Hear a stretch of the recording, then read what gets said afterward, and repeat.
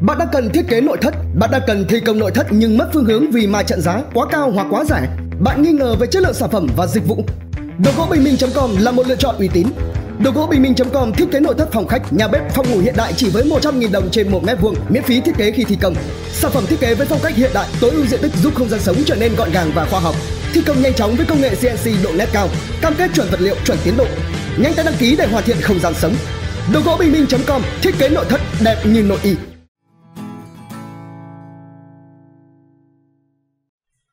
Trong khi Nanocovax chưa được phê duyệt, Covivac và vaccine của Vingroup đang tăng tốc ra sao?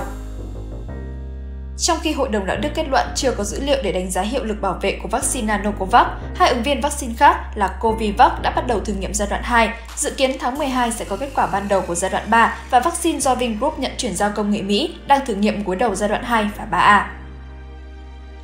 Lần gần đây nhất Nanocovax được nhắc đến là vào ngày 19 tháng 9 khi Bộ Y tế thông tin kết luận cuộc họp xem xét kết quả giữa kỳ thử nghiệm lâm sàng giai đoạn 3 vaccine Nanocovax của Hội đồng Đạo đức trong nghiên cứu y sinh học quốc gia. Về hiệu quả bảo vệ, kết quả quan trọng nhất về chất lượng, Hội đồng Đạo đức kết luận ở hiện tại chưa có dữ liệu để đánh giá trực tiếp hiệu lực bảo vệ của vaccine Nanocovax dựa trên số trường hợp mắc COVID-19 trong nghiên cứu, cần tiếp tục thực hiện đánh giá về hiệu lực bảo vệ theo đề cương được phê duyệt. Ước tính, hiệu quả bảo vệ của vaccine Nanocovax dựa trên dữ liệu về tính sinh miễn dịch của vaccine nghiên cứu, đảm bảo tính khoa học để chuyển hồ sơ tới Hội đồng Tư vấn cấp giấy đăng ký thuốc, nguyên liệu làm thuốc xem xét. Tính đến nay, Nanocovax do công ty cổ phần công nghệ sinh học dược Nanogen nghiên cứu và phát triển là ứng viên vaccine thu hút nhiều sự chú ý nhất. Đây cũng là đang thử. Đến nay, vaccine đã tiêm thử nghiệm gần 14.000 người, giai đoạn 3B đang tiếp tục được đánh giá. Ứng viên vaccine thứ hai là Covivac do Viện Vaccine và Sinh phẩm Y tế IVAC tại thành phố Nha Trang, Khánh Hòa nghiên cứu sản xuất. Sau khi hoàn thành nghiên cứu giai đoạn 1 với kết quả được đánh giá cao về tính an toàn và tính sinh miễn dịch, từ ngày 19 tháng 8, vaccine bắt đầu thử nghiệm lâm sàng giai đoạn 2 trên 375 người tình nguyện tuổi từ 18 đến 59. Đến ngày 15 tháng 9, vaccine tiếp tục tiêm thử nghiệm mũi 2 giai đoạn 2, dự kiến tháng 11 sẽ có kết quả giữa kỳ của giai đoạn 2 thử nghiệm lâm sàng. Do được triển khai gối đầu nên ứng viên vaccine này đang đi khá nhanh. Tại buổi kiểm tra công tác thử nghiệm lâm sàng giai đoạn 2 vaccine Covivac tại Trung tâm Y tế huyện Vũ Thư, tỉnh Thái Bình hôm 19 tháng 8, Thứ trưởng Bộ Y tế Trần Văn Thuấn cho hay nếu đánh giá tốt, tháng 12 sẽ có kết quả ban đầu của giai đoạn 3. Vaccine chứng minh được độ an toàn, tính sinh miễn dịch cao, bước đầu thể hiện rõ hiệu quả thì có thể đề xuất Hội đồng Đạo đức, Hội đồng cấp phép để xem xét, cấp phép trong điều kiện khẩn cấp. Thứ trưởng thông tin. Ứng viên vaccine thứ ba cũng đang gấp rút đẩy nhanh tiến độ là vaccine do Vingroup mua công nghệ của Mỹ về thử nghiệm sản xuất ở Việt Nam có tên là ARCT-154. Từ ngày 27 tháng 9, thử nghiệm giai đoạn 2 và 3A vaccine ARCT-154 được triển khai gối đầu trên tổng số tình nguyện viên là 1.000 người ở Bắc Ninh, Hà Nội và Vĩnh Long. Dự kiến, lịch tiêm mũi 2 của giai đoạn này là khoảng ngày 25 đến 27 tháng 10 ở cả ba nơi. Theo kế hoạch, vaccine sẽ kết thúc thử nghiệm giai đoạn 3A vào ngày 24 tháng 11. Nhóm nghiên cứu đánh giá và báo cáo kết quả thử nghiệm vào ngày 30 tháng 12. Nếu kết quả tốt, nhóm nghiên cứu sẽ xin cấp phép khẩn cấp đối với vaccine ARCT-154. Theo tiến sĩ Nguyễn Ngô Quang, Phó Cục trưởng Cục Khoa học Công nghệ và Đào tạo, Bộ Y tế, vaccine ARCT-154 theo công nghệ mRNA được phát triển trên cơ sở vaccine ARCT-021 đã có các kết quả nghiên cứu giai đoạn 1, 2 và 3 ở Mỹ và Singapore. Chính vì thế, Hội đồng Đạo đức đã cho phép để đảm bảo tiến độ và thời gian nhằm phục vụ cho công cuộc phòng chống dịch ở Việt Nam. Nghiên cứu này được triển khai gối đầu giai đoạn 2 và 3A. Năng lực sản xuất lên đến 100 triệu liều mỗi năm về năng lực sản xuất vaccine Nanocovax, hiện công ty Nanogen đang có 4 nhà máy, 3 nhà máy ở thành phố Hồ Chí Minh. Dựa trên kế hoạch và năng lực hiện tại, Nanogen cho biết dự kiến đến cuối năm 2021, công ty sẽ sản xuất được 50 đến 100 triệu và có thể lên đến 120 triệu liều. Với vaccine Covivac, tiến sĩ Dương Hữu Thái, Viện trưởng Viện Vaccine và Sinh phẩm Y tế IVAC cho biết, nếu được Bộ Y tế cấp phép sản xuất thì IVAC sẽ sẵn sàng sản xuất được ngay vaccine Covivac trong vòng một tháng sau khi được cấp phép. Với năng lực hiện tại, IVAC sẵn sàng sản xuất mỗi năm từ 20 đến 30 triệu liều vaccine Covivac, tùy theo liều lượng vaccine được chọn, tiến sĩ Dương Hữu Thái cho biết với báo chí hồi đầu tháng 9. Trong thông cáo báo chí phát đi hôm 2 tháng 8, thông tin chi tiết về vaccine ARTC-154, vaccine nhận chuyển giao công nghệ Mỹ, Vingroup cho biết nhà máy sản xuất vaccine của VinBioCare sẽ đặt tại tổ hợp nhà máy sản xuất thiết bị điện tử VinSmart tại khu công nghiệp Hòa Lạc, Thạch Thất, Hà Nội với tổng vốn đầu tư hơn 200 triệu USD, công suất lên đến 200 triệu liều mỗi năm. Theo vietnamit.vn, Độc đáo TV tổng hợp và đưa tin. Những điều khách du lịch chưa biết về tiền thiếp ở Mỹ Khách du lịch đến Mỹ thường bối rối bởi văn hóa tiền tip ở đất nước này. Có nên tip hay không, phải tip cho ai, khi đến những đâu và bao nhiêu thì phù hợp với văn hóa ở Mỹ. Nhà hàng, quán cà phê Quy tắc chung về tiền tip khi bạn đến một nhà hàng hoặc quán cà phê tại Mỹ đó là khoảng 15 đến 20% giá trị hóa đơn. Nếu bạn thấy khó tính nhầm con số này thì có thể xem trong hóa đơn, một số hàng quán sẽ ghi sẵn trong đó.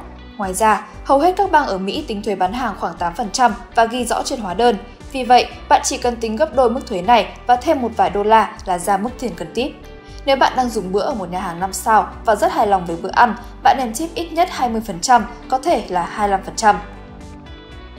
Cửa hàng thức ăn nhanh, siêu thị Tại các cửa hàng đồ ăn nhanh, bạn không nhất thiết phải trả tiền tip nếu mua đồ ăn qua quầy thu ngân, dù ở đó có một chiếc lọ hoặc hộp với dòng chữ Tips Welcome.